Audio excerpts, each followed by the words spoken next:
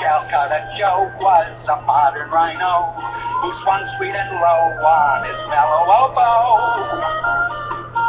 While Flo the hippo stood up on her big toe and spun her yo-yo way up high and down low.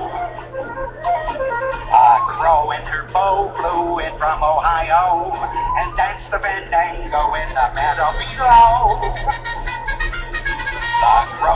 The crows, the hippo, and Calcutta Joe all stood in a row and sang Bodie-O-Do, and together they sang